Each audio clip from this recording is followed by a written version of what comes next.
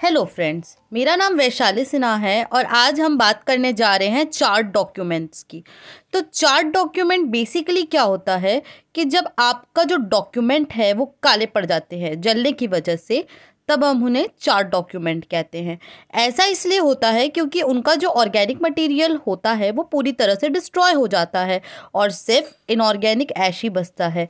इनकी अपियरेंस इस बात पर डिपेंड करते हैं कि पेपर में किस तरह के फिलर्स का यूज़ किया जाता है और इंक के इनऑर्गेनिक कंपोनेंट पे। अब देखिए कि ये जनरली कौन से टाइप के केसेस में हमको मिलेंगे? ये जनरली आर्सन के केस में डिटेक्ट होते हैं। आर्सन मतलब होता है कि ज़बरदस्ती का आग लगा देना।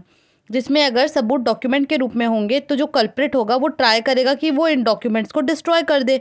अब हम बात करते हैं इनके कैरेक्टरिस्टिक्स की। तो डॉक्यूमेंट ना गर्मी की वजह से काला पड़ जाता है। इनकी जो एजेस होती हैं, वो कर्ल हो जाती है। डॉक्यूमेंट काफ़ी फ्रेगाइल हो जाता है। ऐसा मतलब कि हाथ लगाते ही ना एकदम चूरा चूरा हो जाए।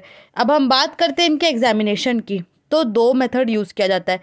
पहले मेथड का नाम है फोटोग्राफिक मेथड इसमें सबसे पहले यूज़ किया जाता है कंटैक्ट प्रोसेस का। एक्चुअली जो चार्ट डॉक्यूमेंट होते हैं ना, वो गैसेस इमिट करते हैं, जिससे फोटोग्राफिक इमल्शन में लेटेंट इमेजेस रिकॉर्ड हो जाते हैं।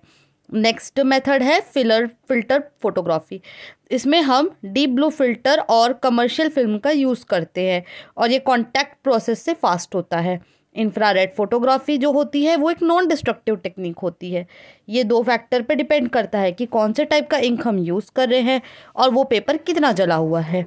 अब हम बात करते हैं दूसरे मेथड के बारे में, जिसका नाम है विजुअल मेथड इसमें हम सबसे पहले यूज़ करते हैं रिफ्लेक्टिविटी मेथड जिसमें हम बर्न डॉक्यूमेंट को कंट्रोल लाइट सोर्स में डिफरेंट डिफरेंट एंगल में एग्जामिनेशन करते हैं।